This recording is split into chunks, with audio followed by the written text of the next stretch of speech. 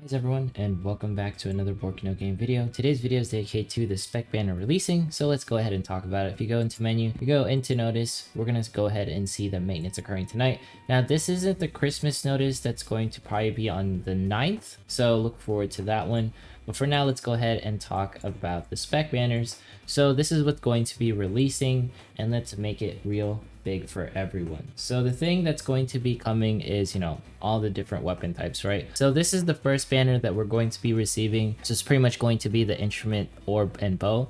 Now the thing is with this banner and these spec banners in particular, I have to say all of them are pretty good and it all depends on the weapons that they come with like you know if like the instrument weapons they're all just as good as the instrument and you know orbs go burr if you want orbs and then bows if they're just as good as the bow now this instrument is actually pretty good in my opinion. It only increases physical attack but it's guaranteed to allies.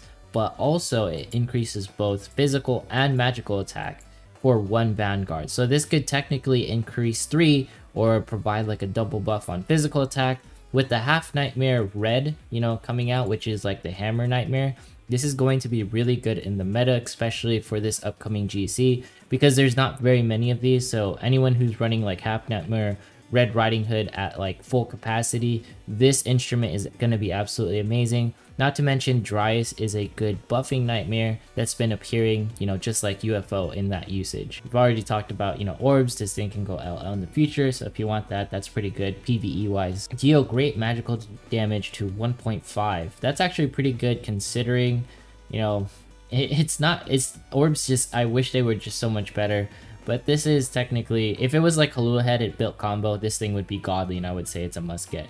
Now this inverse gun, it doesn't have DC2, it has mental focus 2, but the thing is it's still really good. It has really, really insane stats, like 1915 magical attack at level 80.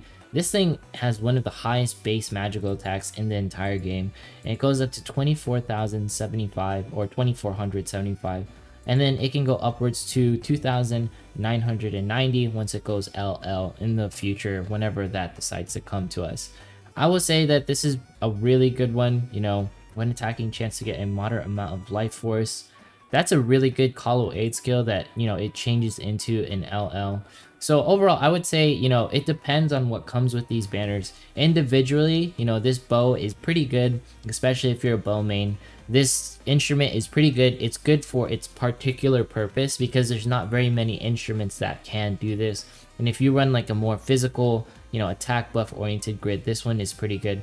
And not to mention, you know, even at level 80, the stats are pretty good overall. 1700 on both physical and magical. That's pretty good for an instrument. Let's cover the next set of banners, which is going to be the staff, hammer, and tome. And as you can see with this staff, it is RM2, but it's guaranteed to allies. So if you need a staff that's guaranteed to, you know, feel free to pick this one up. And then as far as the hammer goes, it's god tier. It goes LL. Like this is a must have if you're a hammer main, not to mention, you know, Crusher, Red Riding Hood is like right here. Her half nightmare form is going to make this thing even crazier. At level 80, it's physical attack 1700 100. The thing is that I have to say is that it's a little weird that this is a balanced weapon. I much prefer something where it's, you know, single-sided. This had 1900 attack, you know, physical, 1600 magical.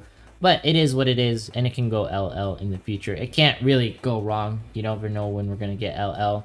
But for the most part, this, this hammer is really good. I'm pretty sure you can tell.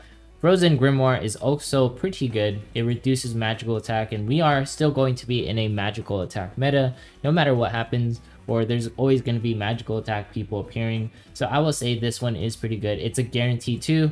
Just note that it is a level 2 spell type, so it won't hit as hard, like it won't reduce magical attack that much, but the fact that it's guaranteed 2 is really good, and it's not a 1.5. And not to mention, it does have support boon too. Overall, these two banners are going to be really good. You know, I'll have them in the description. But I have to say, be careful with these. You know, if you have extra gems, feel free to pull on them. But just note that the Christmas banner and the New Year's banners are going to be appearing. If you guys want this in the description, just let me know. But for the most part, like, with all these, like, good things coming, like, in advance, it's up to you. Like, I can't say, like, you need to save your gems for these banners Because what if you're a hammer main and none of these weapons like resonate with you? You know what I mean? None of these weapons really resonate with me because none of the weapons are hammers. So yeah, I mean, it all depends on what you think is going to be good on your grid for the future. For me personally, I might pull on this hammer banner depending on how I feel. Maybe I will, you know, like pity it. But for the most part, the only things that I can personally add to my grid are things that I can max limit break. If I can't max limit break the weapon, it's not really good for me. Just because like, you know, I have a bunch of like cost 18 like weapons that I can put on my grid. Of course I could use another hammer, you know, on my grid. But the thing is, is I've already max level, you know, I hit like 180 and in order for me to, you know, take something off of my grid, it's a huge sacrifice because I have to build something up. I have to get the Colosseum skill to level 10. It's a lot of different investment, not just a weapon anymore. It's like all of the things required to get that weapon into a usable state. So yeah, I'm going to show some footage on how to SP farm really quick. That's just going to be like a brief thing. You want to SP farm, pretty much you rotate all of your rear guard into the front and then your vanguard go into the back and you pretty much just attack the enemy team. Shoutouts to Puzzle for them being like a funny sport last night. Yeah, that's pretty much it in the world of, you know, SINoALICE. There's like, you know, the spec banner appearing. There's the power-up packs. Kaguya is going to be disappearing. Grand Coliseum is just around the corner. And Christmas is just around the corner. Anyways, uh, that's it for today's video. You know, make sure to like, comment, subscribe. Be careful with the way you spend your crystals because this is going to be a wonky two months that we're about to go into. Anyways, I will see you into the next one.